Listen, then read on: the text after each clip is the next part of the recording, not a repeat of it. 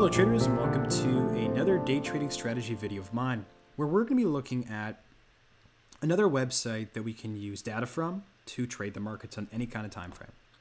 So this is data.bitcoinity.org and I found that this site's really helpful because it pulls together data from many exchanges and gives us many different kinds of indicators uh, that we can use with that data on Bitcoin to the dollar or Bitcoin to other currencies as well. So today we're going to be taking a look at three indicators that I've found very helpful on the site. And I'd also like to mention that on Thursday, I'm going to be running my first group mentoring session. It's going to be a private mentoring session for three people where we're going to be talking about triangular arbitrage and parity, uh, overvalued, undervalued arbitrage as well. So if you're interested in that, you can just uh, shoot an email over to the email below. All right, so let's start off with price plus volume. Let's go to the six hour on the minute. So this is the average price and the total volume across all exchanges. All exchanges being really all major exchanges, with a few that I haven't really uh, heard of. You know, we, we have we have the big guns though. The this guy, this one. And what I like to do with this I found that when I'm just looking at the Bitfinex BTC USD uh, price volume, sometimes you miss out on certain price moves or certain volume moves that are very important and happening on every single exchange except your own. So that's why I like to look at this kind of average uh, or pooling together of a lot of data because we can see very clear volume spikes here. I mean, volume spike here higher than normal and price uh, reversed. I mean, first volume spike about here and then another volume spike, I think, about here-ish too. Volume spike here, price consolidated, then reversed. Volume spike here, as you can see, the highest one, second highest one on our chart, uh, price went up. Know, volume spike for reversals uh, is a, is a, a, good strategy to, to trade. Uh, and, and this really does allow one to, to look at that. And you can go on, you know, like the 30 day, you can look at some more detailed things here to, to trade as well. Now let's take a look at the combined order book. So you can get some help by just clicking this. But what we have here, I think I just like zoomed in or zoomed out a lot or something. But I like to zoom in to here. Yeah, this is perfect. And then I also like to look at the order sum in BTC required to move price. And one cool thing that you can do with this site is I can hover over Bitfinex you can see like that. I can I can hover over BitMEX and we can see more offers than bids. You can go over to Coinbase Pro and see they're about equal. Not surprising though, because it's you know, Coinbase Pro. Uh, and then here it's about equal as well. So I do call asks offers. They're, they're the same thing. It's just I saying asks is kind of a tongue twister. So that's why I say offers.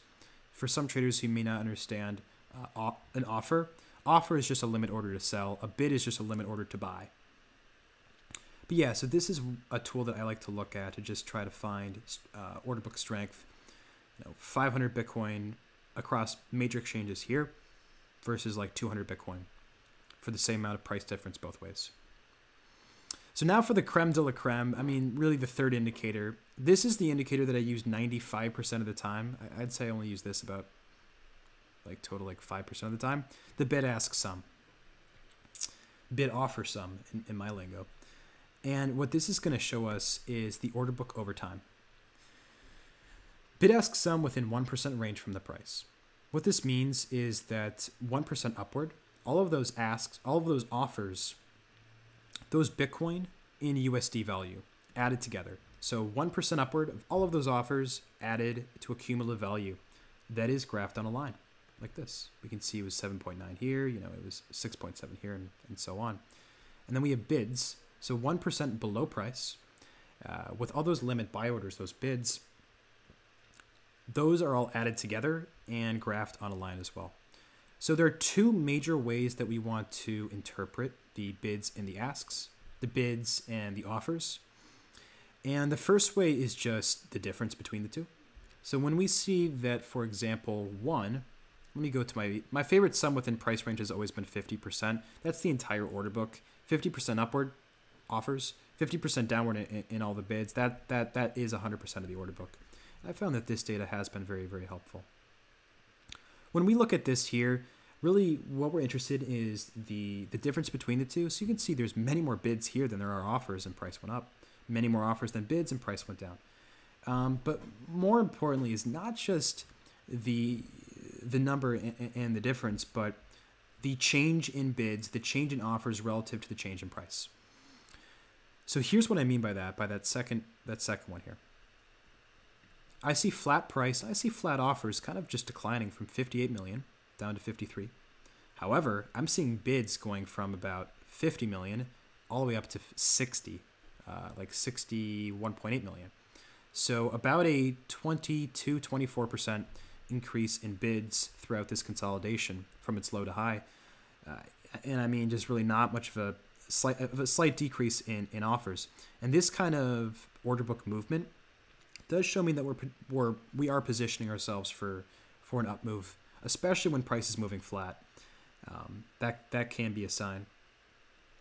And then what we see here is actually that price goes up, uh, but then we see more offers emerging than bids, as you can see up up here. So the reason that I say the reason why I say this is a little bit surprising and, in what this means is whenever we look at any kind of indicator, there's what usually happens, then there's what uh, then there's something known as divergence when what's supposed to happen isn't happening and, and, and another thing is actually happening instead. So that's what we're interested in in looking at the bid and ask sum. When price moves up, what do we expect the order book to do? Well, if price is moving up on high momentum and, and naturally high volatility, then I'm expecting bids to increase. I'm expecting that the bid rate is going to just continue to increase because more potential buyers trying to buy into the uptrend. I'm expecting offers to decline for two reasons. First, orders getting executed on the offer as price barrels upward. We're filling those offers, which is going to decline them. Second, um, if you're trying to offer, you know, at like uh, 6.3K and you see prices going up here, some people just like to cancel their order and just sell at a better price. You could, you know, just sell a little bit higher and be fine. So canceling of orders is also going to decline that that offer rate, but we don't see that here. What I see is an increase in price, an increase in offers, and nothing happening to the bids. This is telling me two things. One, I'm seeing not many potential buyers really interested in this trend. That could tell me that there are many there are there are already many position buyers who've already bought in, so we may be running out of steam for this uptrend in the short term. Now, what I also see too is I'm seeing many potential sellers trying to get into this trend, trying to um, trying to exit the market, and that's what's going to push price down. And then what we see here, well, here I see actually a drop from 68 down to about 59 in the offers as price went down. Usually I would expect the offers would go up if, if price went down, more people trying to sell. Uh, but we don't see that. We see everyone who wanted to sell has likely done so and not much interest to sell. And then we begin to see the interest to buy actually higher than the interest to sell. So demand is higher than supply here. And price goes up.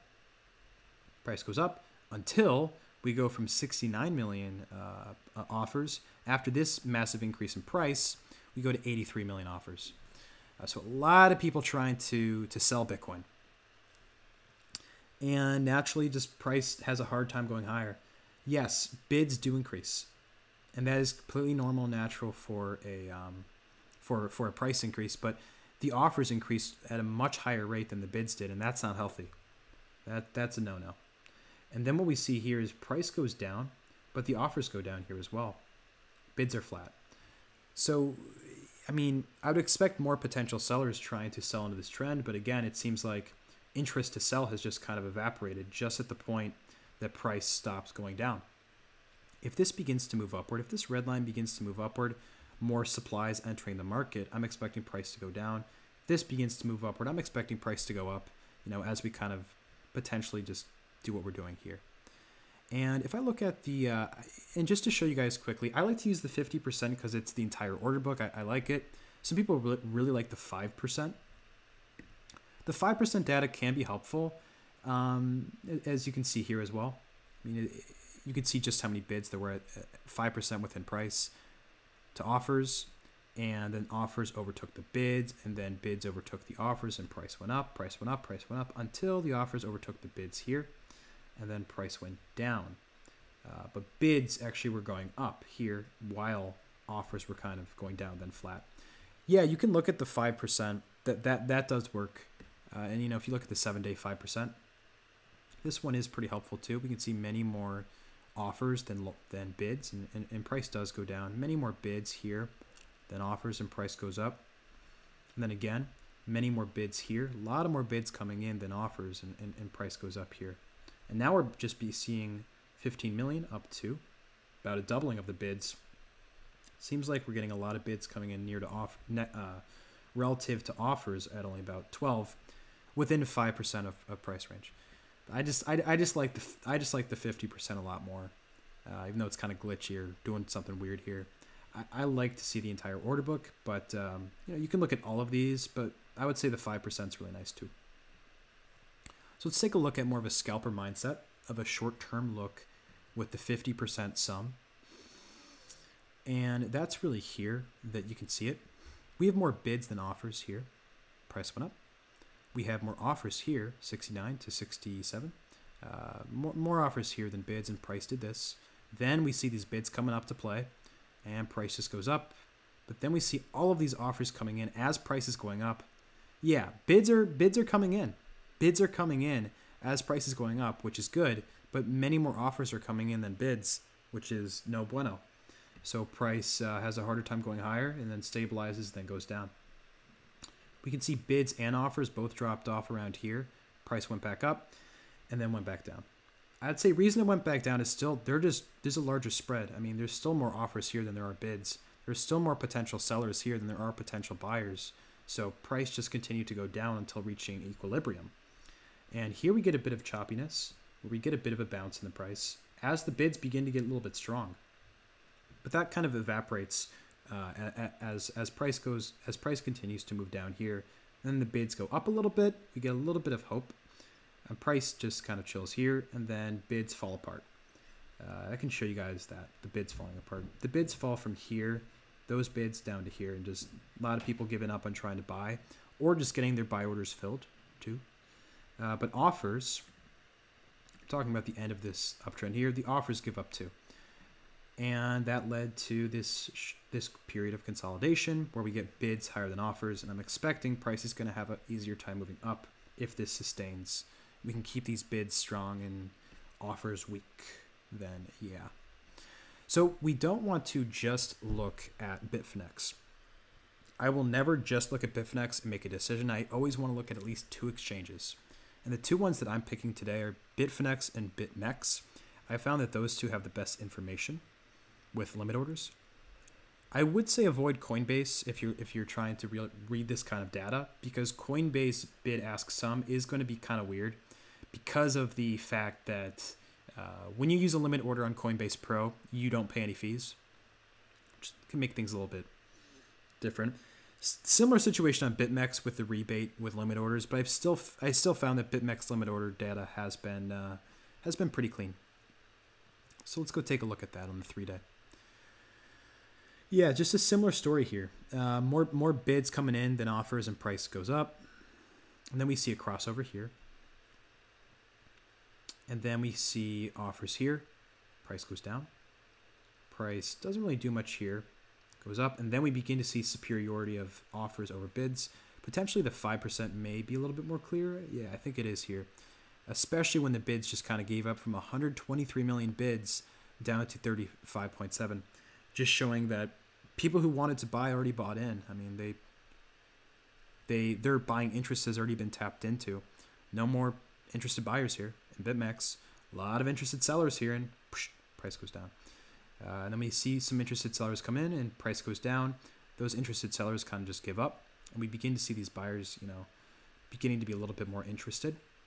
But I'm seeing price going up with the offers going up, not really healthy and price isn't able to do this any longer, and then we get this.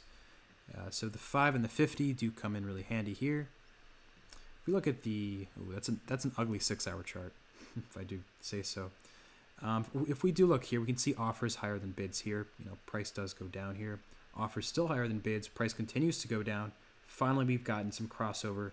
We're getting more bids coming into the market than offers. And the 5% looks pretty, I think, pretty clear as well. with the offer uh, superiority here, and then just giving up of basically all the offers and the bids kind of just remaining chill and flat here. So yeah, I would just recommend taking a look at Bitfinex and BitMEX. If you hit all exchanges, it just goes to Bit, Bitfinex. You'll see. Yep. Uh, I mean, this data has been very helpful uh, in comparing it back to sentiment. So this is just a tool you can use, the bid ask sum, um, to try to make some educated trading decisions in the market. If you have any more questions or comments about interpretation of this data, you know, you can uh, you can you can leave a comment below on YouTube, or you could also shoot me an email or just contact me on my Discord chat that I have linked below. But with that, happy trading.